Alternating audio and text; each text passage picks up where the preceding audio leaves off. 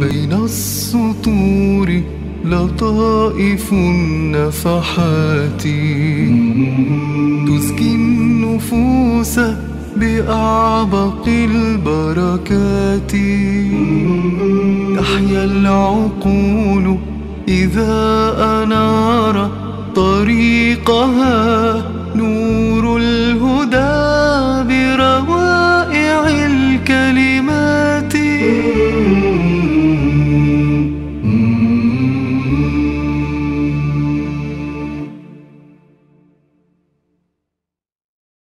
أعوذ بالله من الشيطان الرجيم.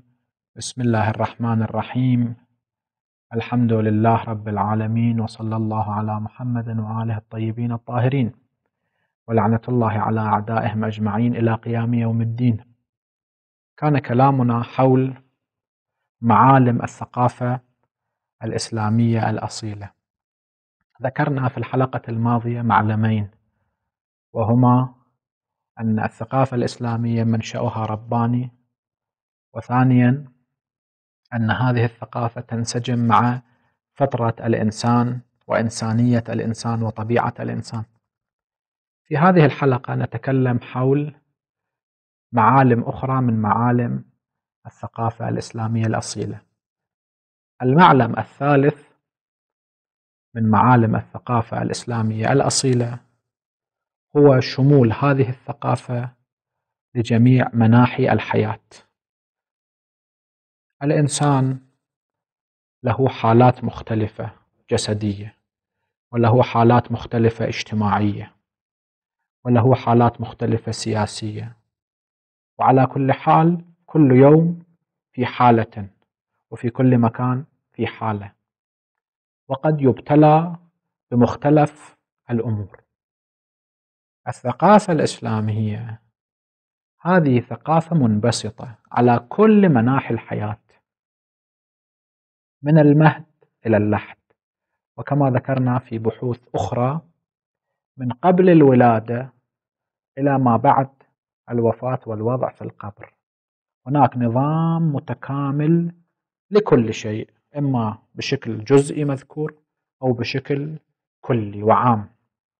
ورسول الله صلى الله عليه وآله في يوم الغدير من السنة العاشرة من الهجرة في رجوعه من مكة المكرمة إلى المدينة المنورة في منطقة خم غدير خم حينما نصب أمير المؤمنين علي بن أبي طالب للخلافة من بعده في قضية الغدير الشهيرة خطب خطبة وهذه الخطبة نقلت أو نقل أجزاء منها في بعض الكتب.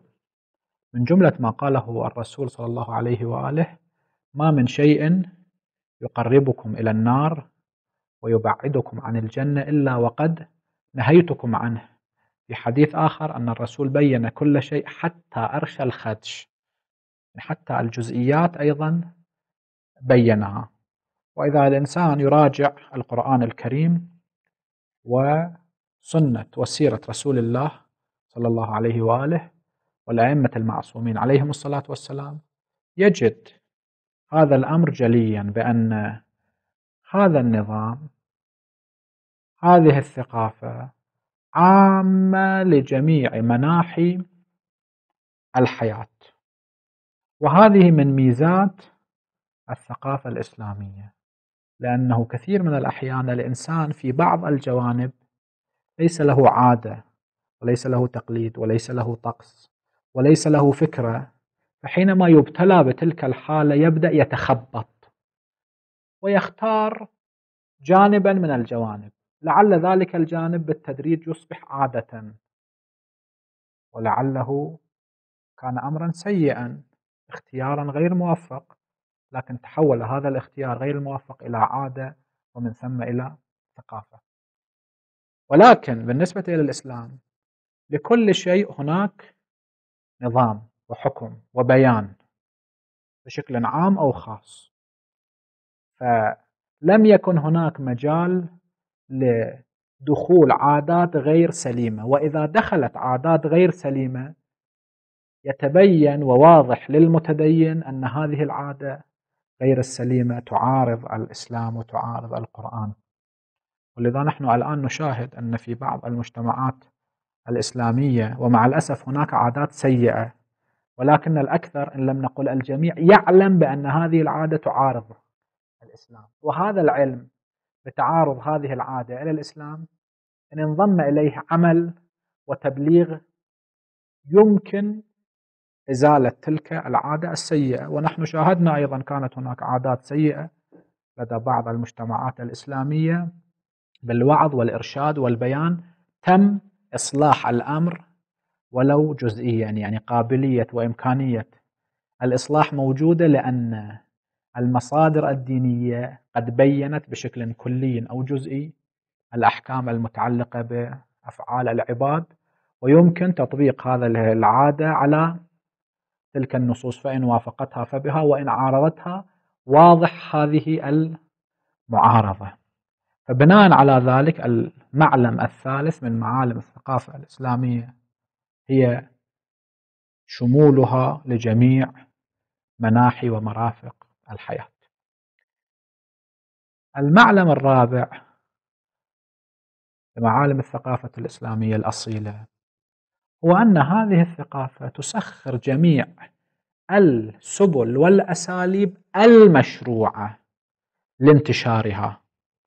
لأنه كما نعلم الثقافة لها حالة من التمدد وحالة من الانتشار. وهذه الحالة من التمدد والانتشار قد تكون بأساليب غير سليمة وأساليب غير صحيحة. وأكثر الثقافات المستوردة وثقافات الشعوب غير المسلمة من هذا القبيل. يستفاد لتمددها ولانتشارها من الأساليب غير السليمة والأساليب غير الصحيحة لأنها في كثير من مفرداتها تخالف الفطرة ولأنها تخالف الفطرة تواجه بالرفض من الشعوب الأخرى. فنشرها بحاجة إلى استعمال أساليب وأدوات غير سليمة وغير صحيحة لكي تتمدد في المجتمعات الأخرى. في الحالة الإسلامية هذا الأمر مرفوض. في الحديث الشريف لا يطاع الله من حيث يعصى. يعني الإنسان الذي يريد أن يطيع الله سبحانه وتعالى لا يمكن أن يصل إلى طاعة الله عز وجل عن طريق المعصية. البعض يقول نحن بهذه المعصية نصل إلى الطاعة أو ذاك الذي كان يسرق الخبز والرمان ثم يتصدق بهذا الخبز والرمان إلى الفقراء. يتصور أنه بتصدقه للفقراء يتقرب إلى الله سبحانه وتعالى. فرده الإمام الصادق عليه الصلاة والسلام. قال له سرقتك معصية وإعطاؤك مال الغير للفقير معصية ثانية لأنه يجب عليك أن ترجع مال الغير إلى صاحبه لا أن تعطيه إلى شخص آخر. لا يطاع الله من حيث يعصى.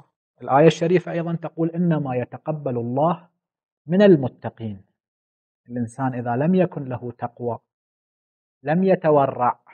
عمله حتى إذا كان يريد أن يتقرب به إلى الله سبحانه وتعالى. لا يمكن أن يكون ذلك العمل مقربا إلى الله عز وجل لأن العمل الذي يصدر من المتقي الذي اتخذ الأساليب المشروعة والطرق المشروعة هذا العمل يقبل. لا من غيره. ولذا في الإسلام الوسيلة الغاية تبرر الوسيلة هذا الأمر مرفوض بشكل نهائي وبشكل مطلق. فيجب في الإسلام أن تكون الغاية غاية سليمة وصحيحة والوسيلة إلى تلك الغاية أيضا يجب أن تكون سليمة وصحيحة. ولذا نشاهد أن أمير المؤمنين عليه الصلاة والسلام بعد مقتل الخليفة الثاني حينما اجتمع أهل الشورى ستة نفرات اجتمعوا في المسجد. فقال عبد الرحمن بن عوف إلى أمير المؤمنين علي بن أبي طالب عليه الصلاة والسلام امدد يدك لأبايعك على كتاب الله وسنة رسوله وسيرة الشيخين. هنا أمير المؤمنين عليه الصلاة والسلام قال لا بل بايعني على كتاب الله وسنة رسوله واجتهاد رأيي. لا على سيرة الشيخين. كتاب الله سنة رسوله واجتهاد رأيي لأن سيرة الشيخين ليست من مصادر التشريع في الإسلام مصدر التشريع القرآن وسنة الرسول صلى الله عليه وآله. أما اجتهادات الآخرين ليست من مصادر التشريع.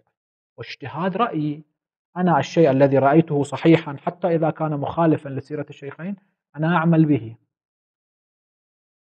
فقال عبد الرحمن بن عوف لعثمان بن عفان امدد يدك لأبايعك على كتاب الله وسنة رسوله وسيرة الشيخين. فقبل عثمان هذا الأمر وكان 13 عاما حاكما على المسلمين. زين. الإمام علي بن أبي طالب إذا في ذلك اليوم كان يقول كلام يقبل البيعة على كتاب الله وسنة رسوله وسيرة الشيخين وبعد أن وصل إلى السلطة واستحكم كان يرفض سيرة الشيخين. هذا الأمر مرفوض من أمير المؤمنين عليه الصلاة والسلام لأنه كان يستلزم الكذب. يكذب في يوم الشورى وبعد ذلك يكون حاكما ويعمل كما يشاء. هذا مرفوض عند أمير المؤمنين لأن الإسلام لا يجوز أن الإنسان يصل إلى غاية بأية وسيلة كانت. يقول تصل إلى الغاية المشروعة بالوسيلة المشروعة. وحتى حينما بعد مقتل عثمان بايع الناس أمير المؤمنين أمير المؤمنين عليه الصلاة والسلام بالخلافة فأمير المؤمنين أراد عزل معاوية. فبعض أصحاب الإمام أشاروا على الإمام باستبقاء معاوية. قالوا ما معناه أنه الآن أنت في أول السلطة والحكومة؟ قواعد السلطة ليست مثبتة. ونعلم أن معاوية سوف يرفض عزله. فأنت الآن ثبته. فلما قويت قواعد السلطة لديك حينئذ اعزله. الإمام رفض هذا الأمر. لماذا؟ لأنه ما كان يريد أن يمضي على الأعمال التي كان يرتكبها معاوية. ما كان يريد أن يعطي شرعية لتلك الأعمال. ولو أدى هذا إلى بغي معاوية. ولو أدى إلى ذلك إلى أن تقوم حرب صفين. وحتى أمير المؤمنين عليه الصلاة والسلام كان يساوي في العطاء. فلما اعترض عليه أنت بهذه الطريقة تفقد الكبراء الأشراف الشخصيات. وهؤلاء يلتحقون بمعاوية لأنه يشتريهم بأموال طائلة. فبدل من أن يشتريهم معاوية بأموال طائلة أنت اشترهم بتلك الأموال. الإمام عليه الصلاة والسلام كان يرفض. كان يقول ما معناه كما ورد في نهج البلاغة ليس معاوية أدهى مني ولكنه يغدر ويفجر ولا أريد لا أطلب النصر بالجور. لا أريد أن أنتصر نصرا سياسيا ولكن على حساب عقيدتي وعلى حساب مبدئي. البعض لا يعلم سر عمل أمير المؤمنين. يقول لماذا أمير المؤمنين ما كان يداهن ما كان يعمل بعض الأمور حتى يتمكن من القضاء على أعدائه مما عمله عمله معاوية ووصل إلى ما كان يريد. هذا الشخص الذي يفكر بهذه الطريقة. يريد أن يكون علي معاوية. أنت إذا تحب هذه الأعمال التي كان يعملها معاوية من الغدر والفجور والقتل وما إلى ذلك إذا تحب هذه الأعمال فاتبع معاوية. كما أن بعض الناس يتبعون معاوية ويترضون عليه. لأنهم يحبون هذه الأعمال التي كان يعملها.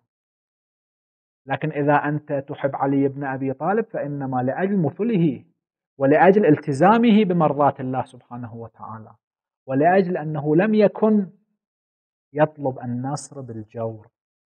ولو كان يريد أن يطلب النصر بالجار بالجور لكان كمعاوية وحاشاه ذلك. لم يكن فرق بينهما. وحال الدنيا هكذا كثير من السلاطين يتعارضون على السلطة السياسية ويستعملون جميع الأساليب غير المشروعة وأحدهما ينتصر على الثاني. ولكن هؤلاء الذين يعملون هكذا أعمال يذهبون إلى مزبلة التاريخ بقطع النظر عن عذاب الله في الآخرة. نرجع إلى كلامنا. المعلم الثالث من معالم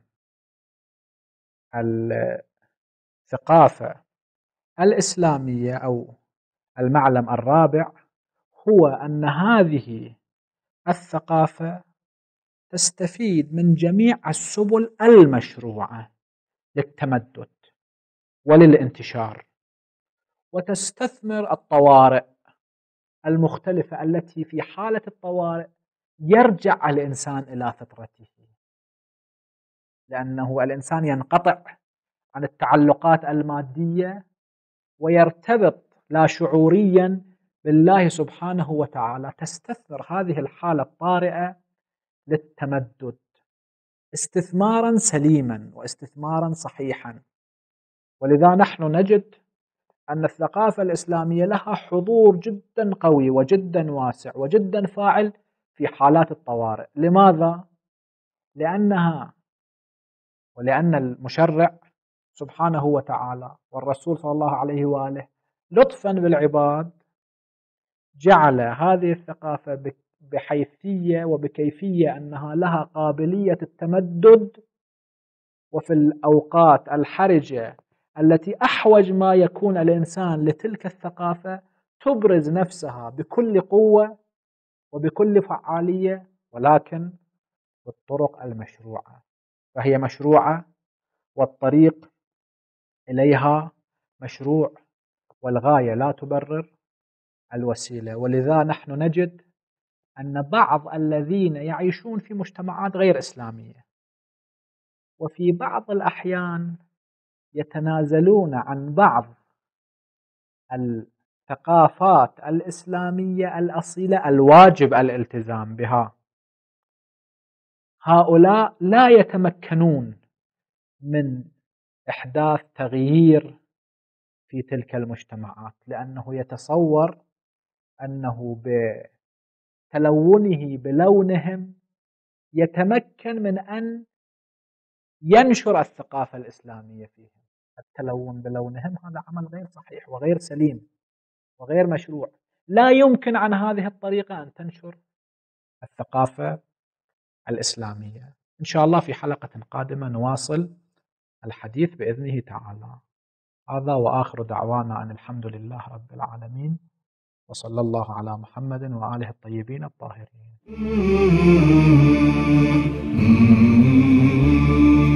بين السطور لطائف النفحات.